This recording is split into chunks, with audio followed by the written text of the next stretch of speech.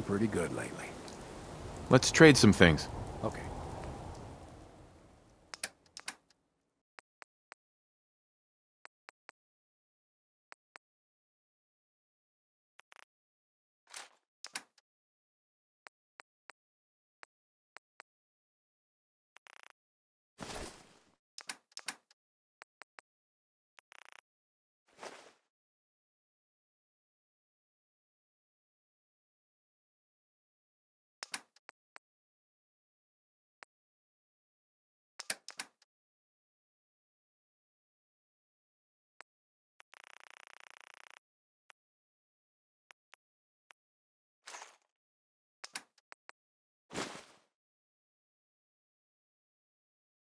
It's 2 o'clock in the afternoon here at Radio Freedom.